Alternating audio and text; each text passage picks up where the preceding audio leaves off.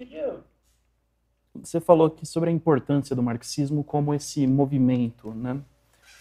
É, que já, se a gente considerar a publicação do Manifesto Comunista, está chegando aí em, 170, em 180 anos de, de história.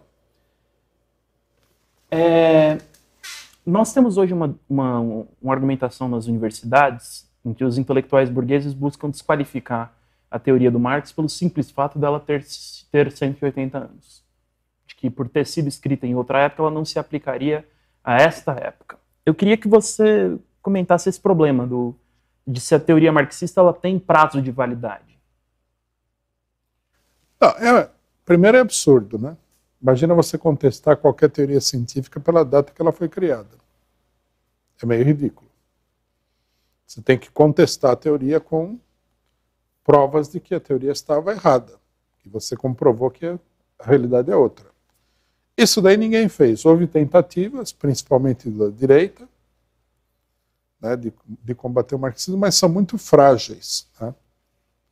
É, o, os neoliberais no Brasil fizeram, durante um período aí, fizeram uma propaganda muito grande de que o, o von Mises, o Hayek, não sei mais quem, teria, teria provado por A mais B que a teoria marxista econômica está errada. Isso é tudo bobagem. Não tem o menor fundamento. Inclusive, essas coisas já foram desmentidas inúmeras vezes por outros marxistas. Tá? Eu acho que isso daí apenas indica que o nível intelectual está muito baixo.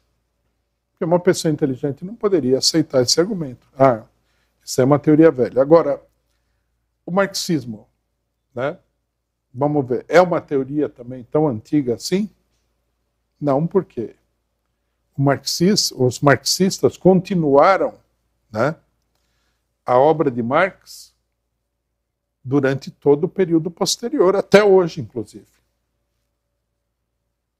Nós temos aí Lenin, nós, temos aí Kautsky, é, Franz Mehring, uma série de intelectuais importantes da Segunda Internacional. Temos Lenin, os intelectuais da Terceira Internacional, Trotsky, a Quarta Internacional, e os grupos trotskistas posteriormente. Então não dá para dizer que a teoria é velha. Né? Inclusive, não só ela não é velha, como que foi introduzido aí é, atualizações de acordo com a evolução do próprio capitalismo. O livro do Lenin, Imperialismo, é uma das grandes realizações. Se você lê o Capital, você tem que ler também o Estado, o Imperialismo Fase Superior do Capitalismo. É um texto decisivo nesse sentido.